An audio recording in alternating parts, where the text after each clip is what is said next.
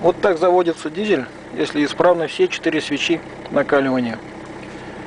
Если хотя не, одна из них будет неисправная, тогда при минус 10-15 градусов мороза вы уже будете подольше крутить стартером.